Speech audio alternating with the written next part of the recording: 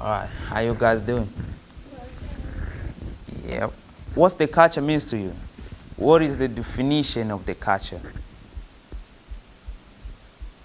Okay, well, I know if I ask you to answer this question, every one of you gonna come up with a different answer based on where you grew up, right?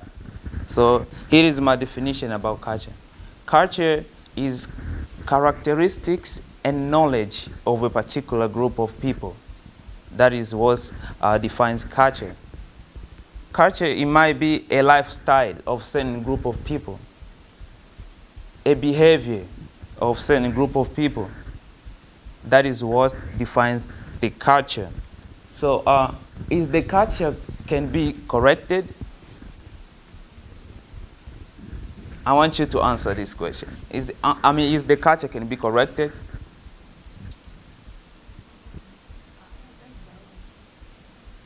So uh, if we say culture is behavior, so can behavior be corrected? Can you correct your behavior? Yeah. Literally meaning the culture can be corrected as well. The answer is yes, the culture can be corrected. So how? How can it be corrected? From learning other culture characteristics. Through learning other culture, you discover interesting things that you can apply to your culture as well. I mean, once you find something interesting in somebody's culture, don't just apply it directly to your culture. I want you to balance it out. Look into it deeply. Don't just apply it to your culture because it's good enough. You have to balance it. Is it right?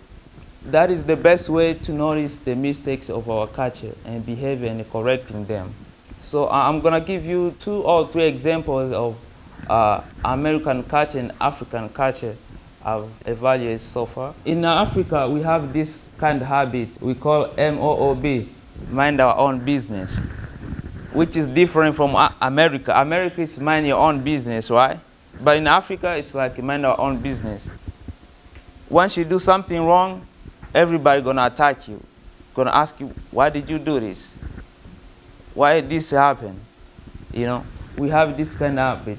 I like it because it shows more like unity and stuff like that. But also, um, I like American culture because sometimes you have to mind your own business, right? I found this in America. People don't cook at home very often. A lot of America uh, eat at fast food restaurant very often instead of cooking at home. In Africa, we cook at home a lot. So, ladies, when you get married with African boy, don't expect to go out a lot. Because we don't do that. We eat a lot at home. So in closing, I urge you to start learning other cultures. I always say this, America is blessed to have all types of people from all over the world. So you have opportunity to learn about other cultures. Get along with the people from different places. Ask them questions about their culture. That is the best way to learn about other cultures. I'm telling you, learning other culture will help you to correct your bad behavior and live a peaceful life with everyone. Thank you.